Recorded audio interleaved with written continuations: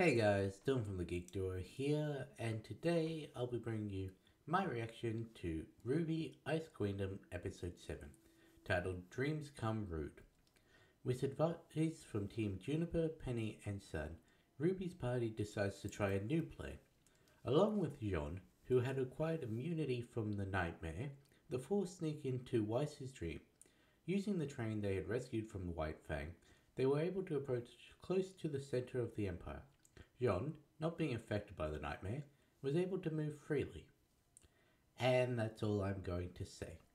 So it seems that they're going to completely disregard everything that Shion said, and they're going to make changes to the dreamscape.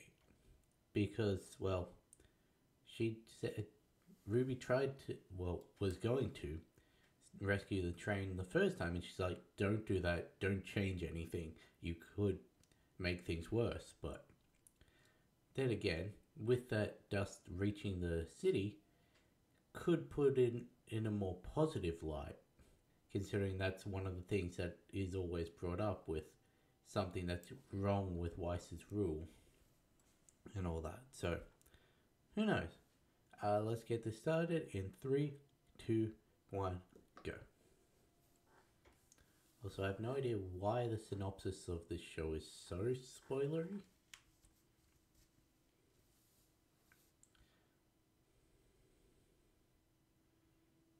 Hmm.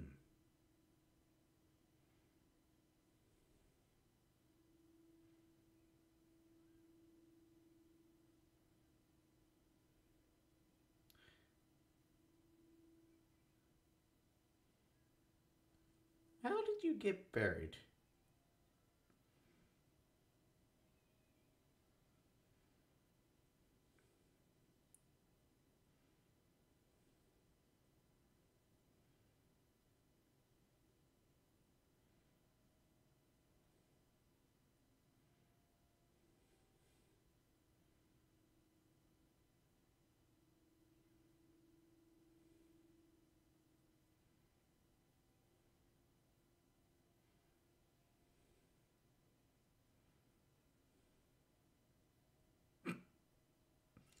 Is he really? Yes, he is tobogganing on his shield.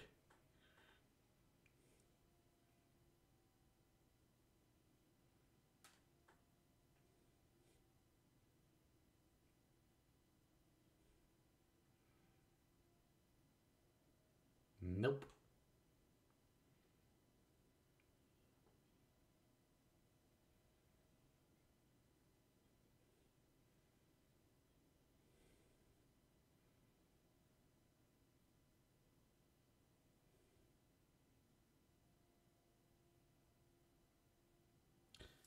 You, do realize you've got your normal sword as well, mate.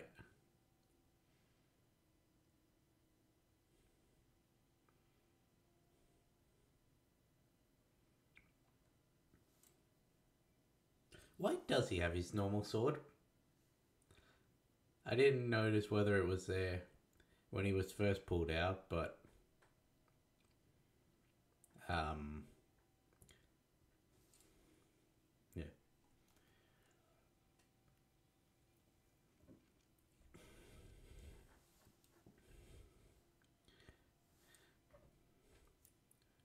Honestly, with all with the opinion that Weiss holds towards Jaune at the start of the show, I'm surprised that's all he's got going against him in this um land. That just that his weapon's way too unwieldy.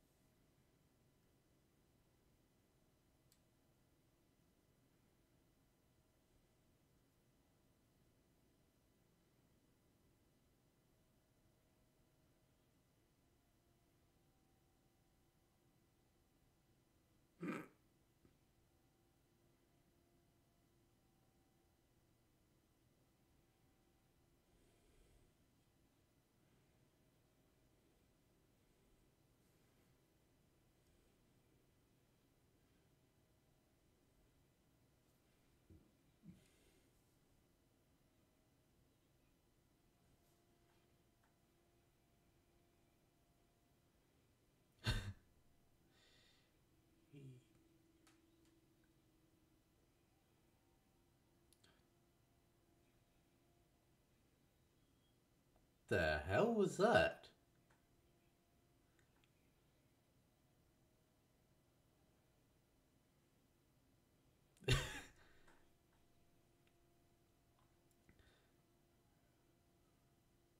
He's really blundering his way through.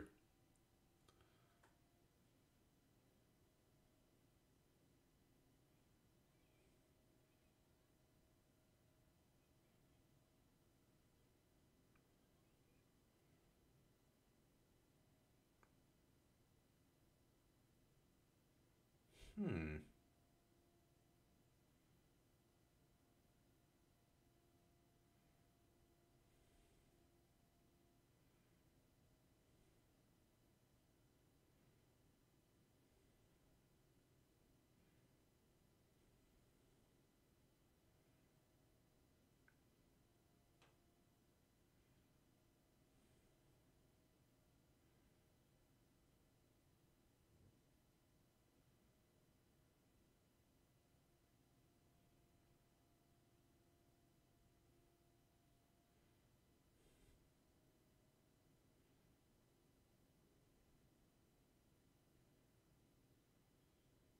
Hmm.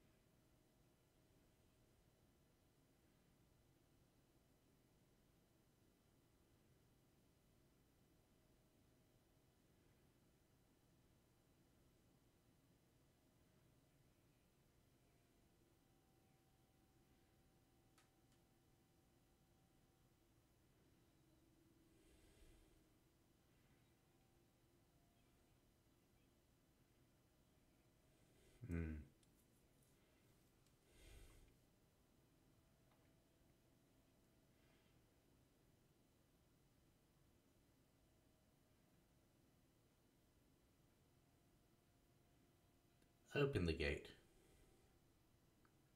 Oh, I was expect wasn't expecting this long a wait.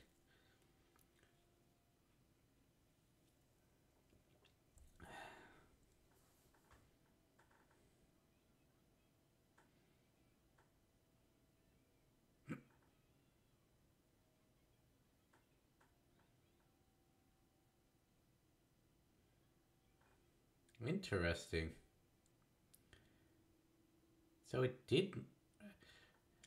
How did that manage to reach you? I mean, to be fair, all of this is her, so I guess. Yeah, that makes sense. All of this is built by her subconscious, and there should be a part that's trying to overcome it, so. Makes sense that they'd be able to reach her just by shouting out to the void.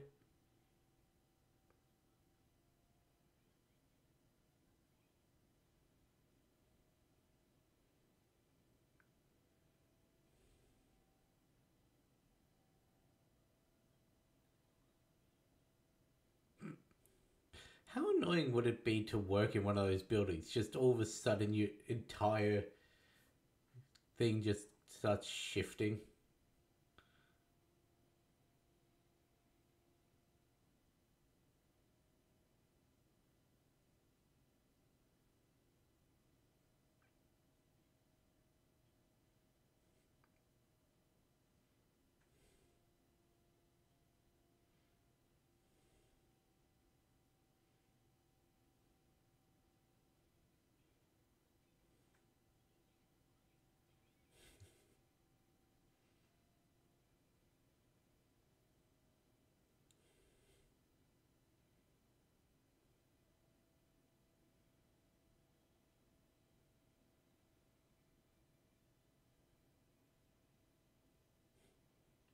Even the shadow people have to move out of the way.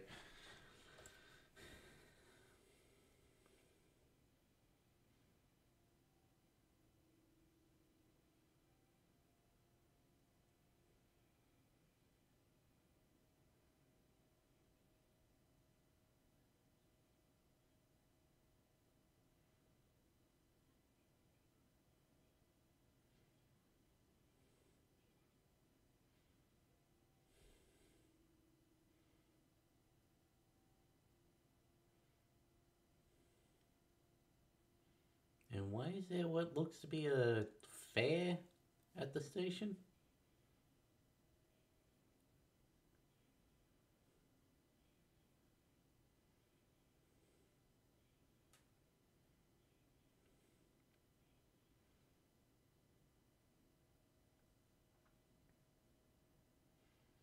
You know, the fact that Weiss is German inspired really does make some of these things worse.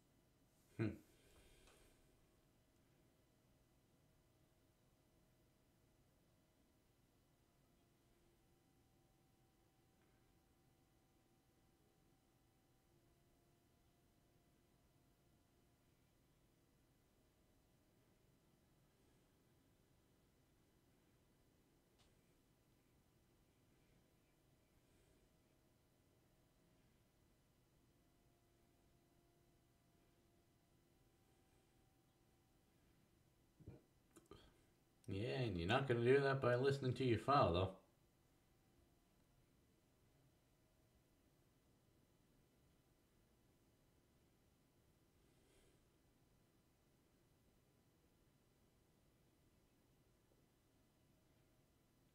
Hmm.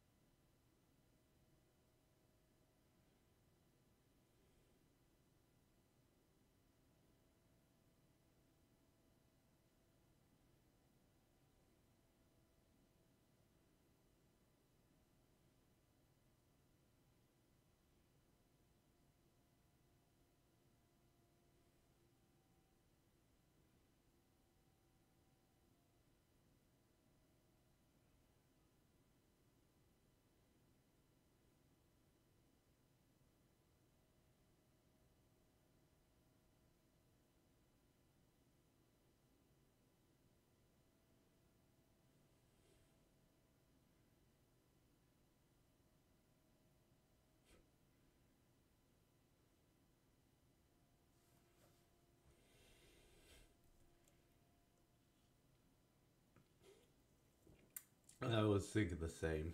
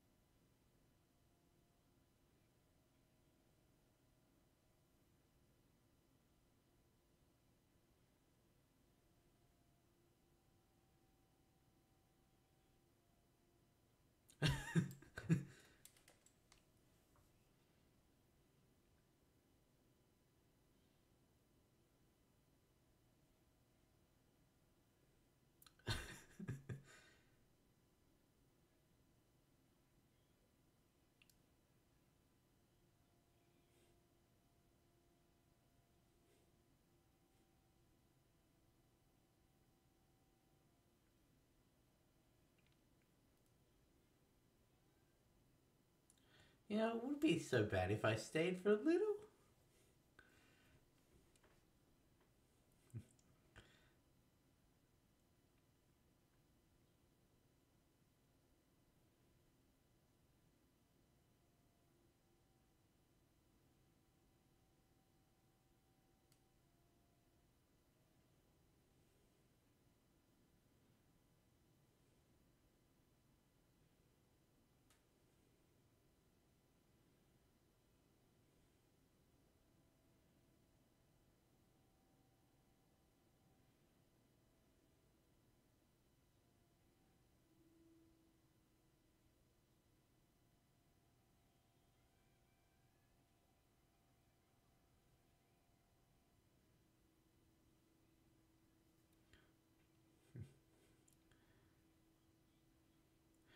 Of course, um, Weiss's childlike innocence would be regarded as a silly.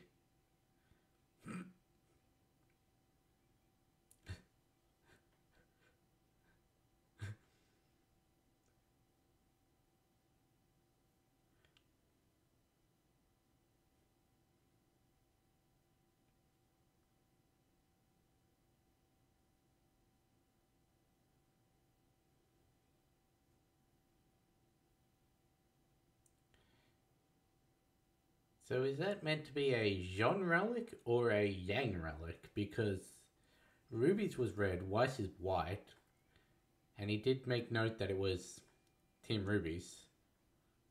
So.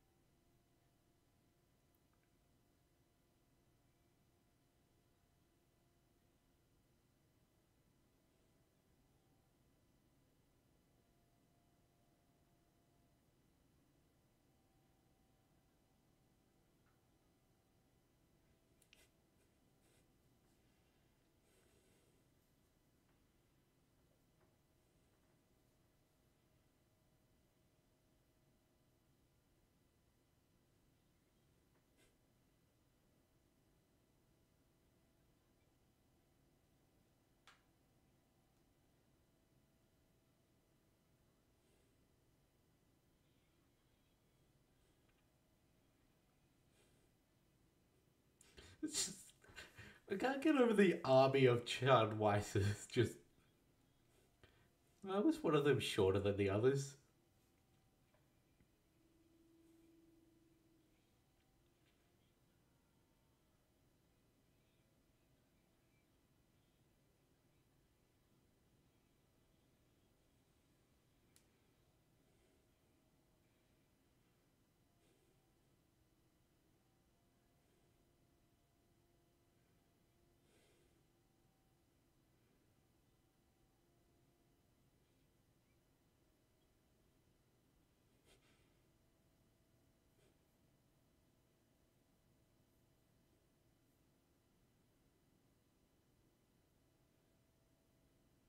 What happens if either Whitley or Winter get hit by one of those young Weisses?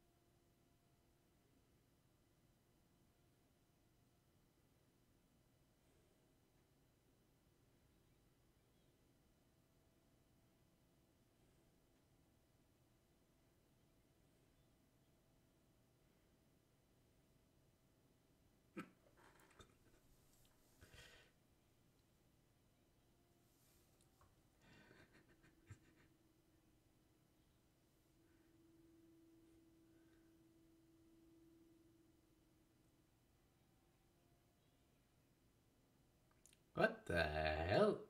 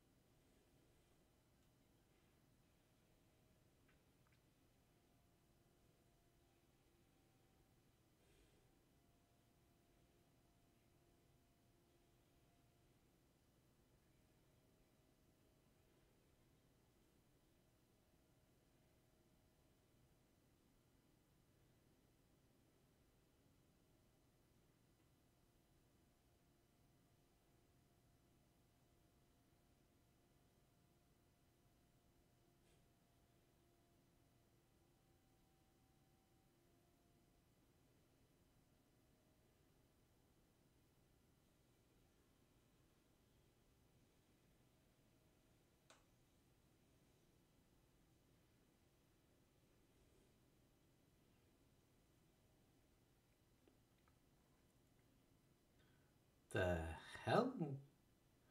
Almost looked like. Yeah. She protected them.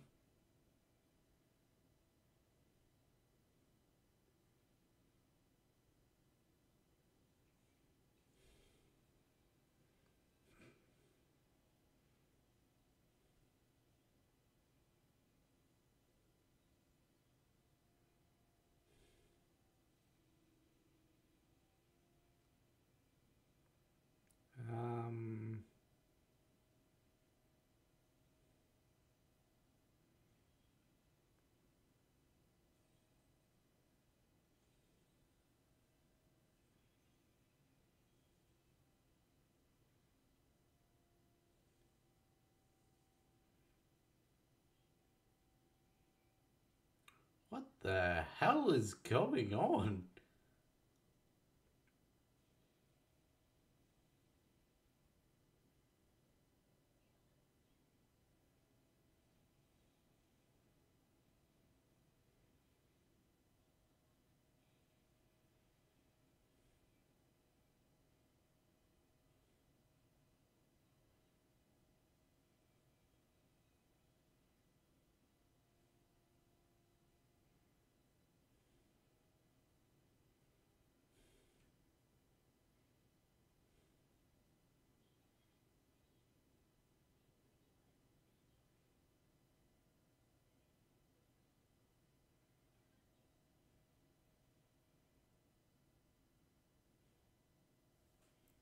What the fuck was that ending?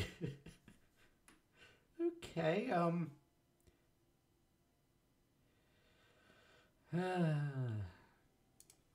well,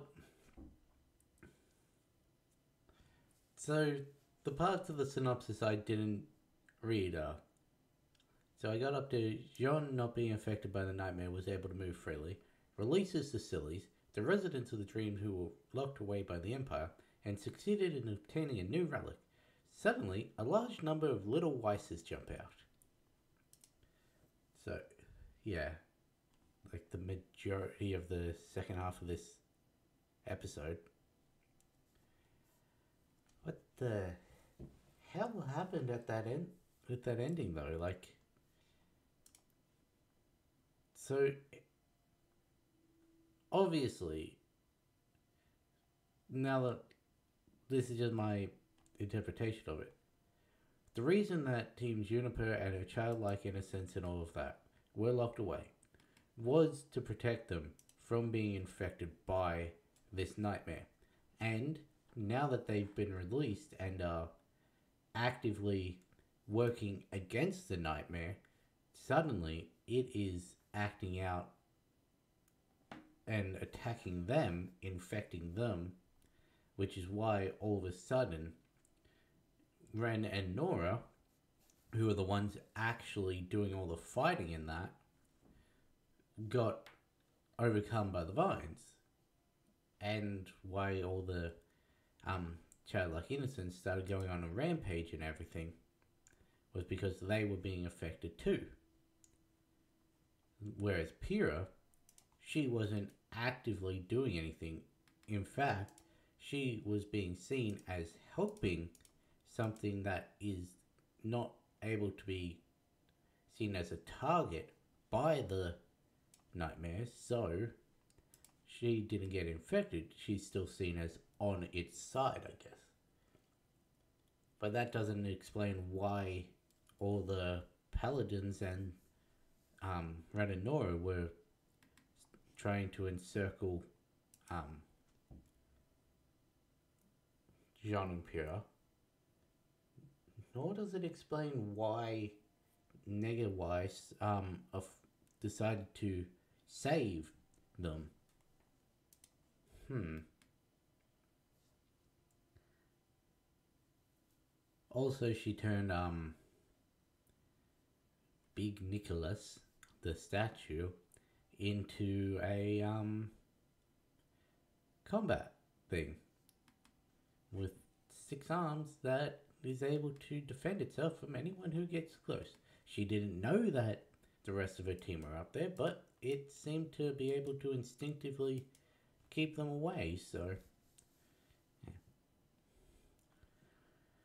Anyway, um, this show is both hilarious and weird. Like,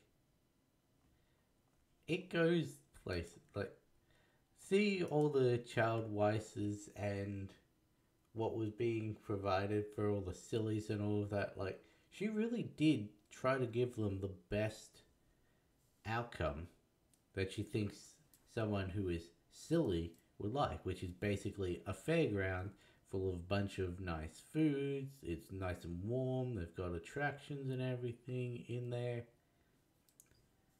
And yeah, so she's really trying to do the best for people that she keeps at an arm's length, even subconsciously.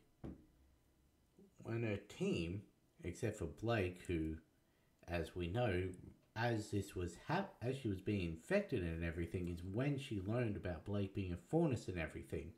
So that probably also got made worse by the fact that she was currently infected by the nightmare as she was learning this, as she was dealing with all those um, emotions from the revelation and all of that. So, that would explain why Yang and Ruby were still being kept close and locked up in their dorm room right in the center, whereas Blake got shafted outside. Had she not learned about Blake being a foreigner, Blake probably would have also been locked up in the dorm room right in the center. Hmm. Interesting. Um, but yeah, that's all that there is with the last episode. It was funny. Like, what? Why did Jaune get two weapons? Is is him having his regular weapon a part of his immunity from the um, nightmare? Because he still had the super unwieldy sword that his counterpart would have, yet he also has his regular weapon, which seemed to work pretty much the same as it normally did at least with the whole you can take the sword out, you can expand the shield. That's all it's able to do. So, not really much for her to misconstrue. Is him having that as a secondary weapon part of his immunity? Hmm, who knows? Anyway, um, I'm gonna end this one here. I'll catch you in the next one.